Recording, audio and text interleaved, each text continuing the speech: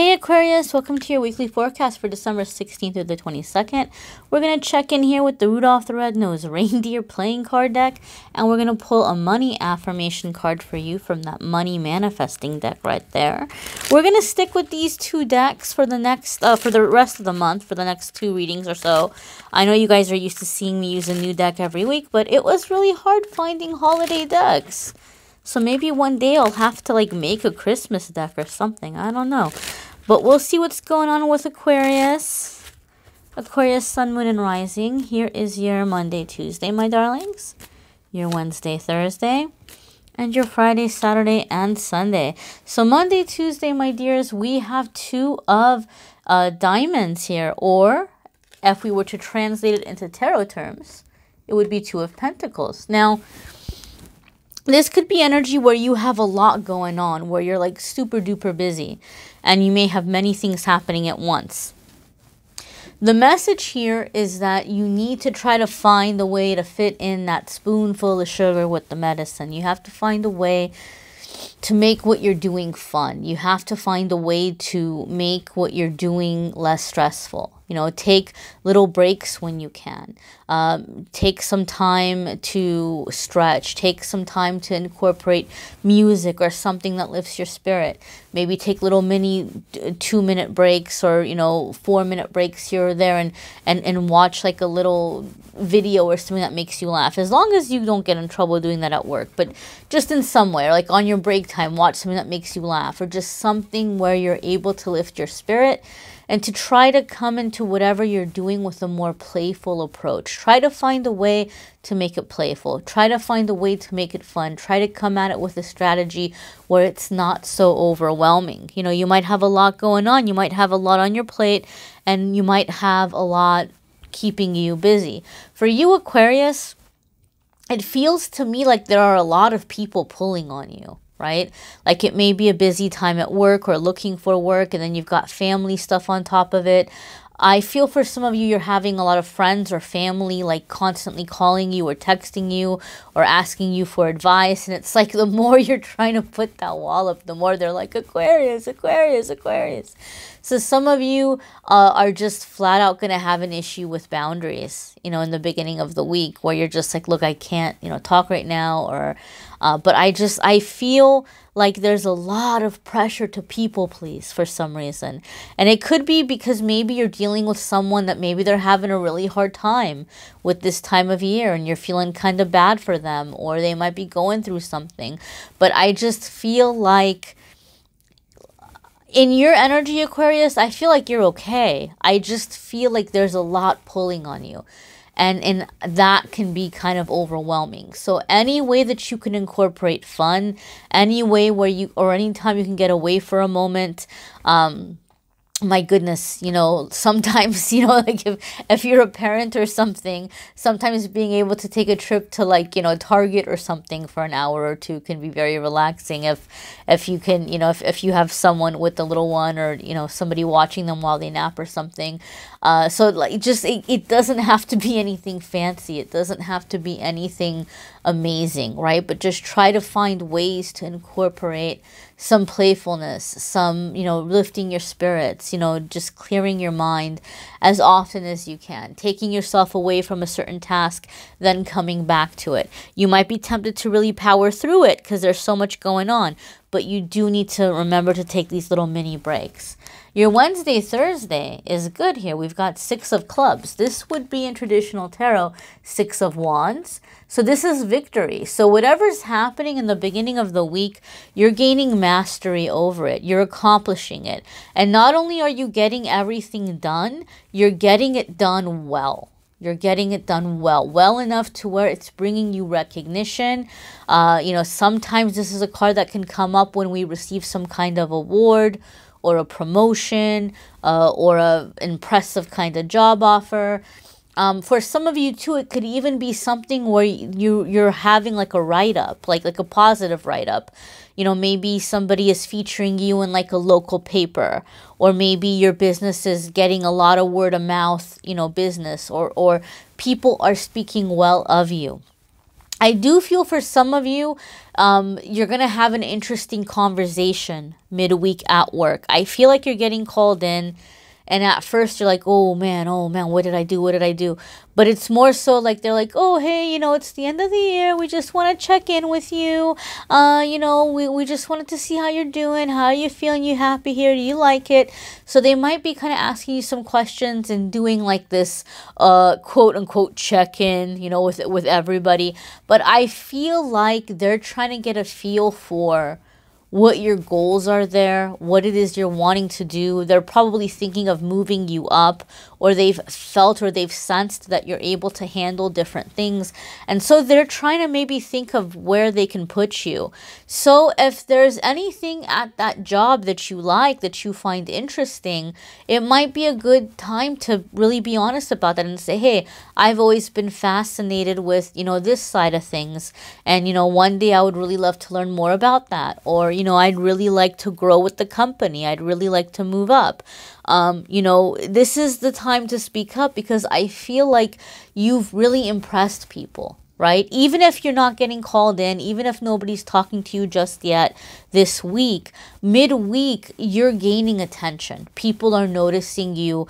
Your hard work is paying off. Okay, your reputation is preceding you, so to speak. So it's a very positive card. Um, also, keep it in mind in the beginning of the week. If you do feel stressed out, if you do feel like there's a lot going on, keep in mind that it's only temporary. You're going to get it done and you're going to get it done well. Okay. Your Friday, Saturday, and Sunday, Aquarius, we have seven of spades. ah, ah, not surprising after a six of clubs. So seven of spades is going to be in traditional tarot what we refer to as seven of swords. Okay.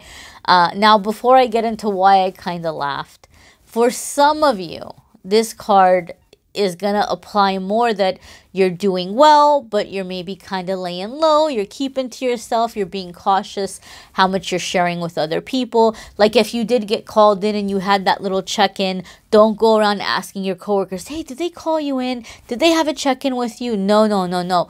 Lay, lay low. Don't draw attention to it. Don't draw attention to it. Guard your plans, guard your ideas. For some of you, that's what Seven of Spades or Seven of Swords is going to mean. The reason why I laughed is for those of you where you are going to have attention coming in and you are going to have people like noticing you or talking about you or complimenting you or you're getting some, you know, some kind of, you know, positive, you know, like people are looking at you, right? Like like you're on top right now. Seven of Swords for some of you is going to be that people or someone in particular, a person in particular, is like, oh, wow, like they're having this opportunist moment where they're wanting to latch onto you. They're wanting to latch onto you. They're wanting to hitch along your little wagon for a ride. And that's why I laughed, of course, right? Like when we're doing well, the little vultures come out sometimes. And so um, you know, I always kind of joke about the seven of spades or seven of swords, and I say they're trying to get in your pants or get in your pockets, or they're trying to get in your pockets through your pants. So you could have someone who's being slick. Um, and they might come off very good to be true. And I'm sorry to say the reason for it is, is that they have really been able to figure you out. You know, a seven of swords kind of person is really good from watching from afar, figuring out who you are, figuring out what you like, what you don't like, what you're looking for, and then they want to appear as that person right? They put on that mask. How, how can I get Aquarius to notice me? Because they know that if you really got to know them, you wouldn't give them the time of day, right? So they, they, they appear in the form that's going to be impressive to you. So my advice to you is this, just to be safe, if you have anybody coming up to you towards the end of the week, and it, it might not even be a sexual thing, it could be a cousin or a relative or someone you haven't talked to for a while, or someone that you're kind of sort of friends with, and all of a sudden they're like in your DMs and they're wanting to get together. So it might not be necessarily a sexual thing. It could be a coworker, it could be a family member, uh, but you know, just kind of let them prove themselves before you go letting them all in. Before you go, you know, like, oh yeah, you know, we're close and we're picking up right where we left off, or oh yeah, this is amazing. Let's see where this goes take your time with this person long enough to where if there really is a mask, it's going to slip right? Long enough to let that mask slip so you have a clear idea of what their intentions are, why they're here, what they're doing.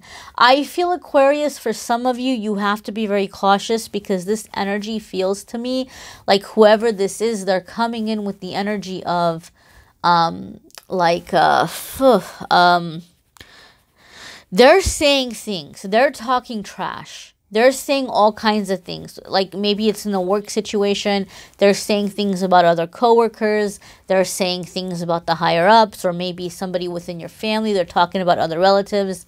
And even if you're not saying anything back, even if like, oh, uh huh, yeah, man, that sucks. Oh, totally, right? Like even if you're just kind of, like, yeah, uh huh, uh-huh, they're gonna go and they're gonna say, do you know what Aquarius said about you? Aquarius said this and Aquarius said that. Or they're going to try to get you to vent and then they're going to go tell everybody like what you said. And it's their way of, because you're getting all the positive attention, it's their way of kicking you out of the limelight and trying to show you up, like trying to get the attention instead. Like, Aquarius isn't good, I'm good. So be careful of that too. Even if it's not someone who seems to be chasing after you to date you, be careful when anybody somebody's trying to pull you into a conversation or they're trying to hang out or they're trying to pick your brain about something. I don't feel you can necessarily trust this person and what they're asking you or what they're trying to figure out from you. And again, I'm not trying to be a negative Nancy, but there's been some interesting energies uh, in this week's reading. Um, and so I would just say, you know, just kind of look out for that. You know, better better safe than sorry. Better to be prepared for it. Let's go ahead and see on a positive note what money affirmation is coming up for you all. And again, guys, be sure to watch your moon sign and rising sign videos. Some weeks those are going to resonate with you more than others. Alrighty. And the card that you have here is visualization. Alrighty, so I would always say check out the pictures on the card and see how they speak to you and what they say to you. Um, I see a star that's jumping out at me, so that's like guidance, as is the dragonfly. Dragonfly can also uh, tell you like patience, things are coming your way, that you're kind of on your path, you're being led, you're being guided. Swan, of course, gracefulness, um, beauty um, you know, just kind of focusing on beauty and the things that are bringing you joy. Uh, you know, these are just some of the messages that I see jumping out, but see what jumps out at you, what the symbols mean to you, how they speak to you. The affirmation on the back, my dear, is I make mental pictures of my goals that are simple and to the point. Okay, so mental pictures, visualizing um, can be very, very helpful. Now, some people have a hard time with visualizing, so if you do, this is a really good affirmation to help you master that. And I always say if you write the affirmation down in your own handwriting, it gives it more power. If you say it the very first thing every single morning when you wake up and say it out loud the very last thing every night before you go to bed, this really helps to plant that seed while your brain is shifting from conscious to subconscious and vice versa. So it becomes more of an automatic thought. It's like you're programming yourself to think this way. But you can say it as many times as you want throughout the day. You can turn it into like a little ritual with your candles and your incense or however you want to do it. Um, but if you want to incorporate it right when you wake up and right when you go to bed, it can be very helpful. If you're still struggling with this, a tip that I can give you is watch movies that kind of show what you want your life to be like, or listen to music or songs that have the feeling about how you want to feel. That can sometimes help, you know, get those visualization muscles going. Um, be sure to check out your Moon Sign and Rising Sun video. Like I said, watch the channeled messages for December. Those have been really helpful for a lot of people. Link is in the description. Uh, watch the love readings if you're looking for love and romance. The link to those are in the description. Around the time this video gets posted, the 2020 videos are going to start coming up. So be sure that you are staying in tune for those and you're watching uh, those, keeping an eye out for those, and the calendar is going to be up uh, in the next you know few days as well. So for private readings. So uh, stay tuned for all of that, guys. Thank you so very much for watching, liking, sharing, commenting, subscribing. I'm wishing you a fabulous week, Aquarius.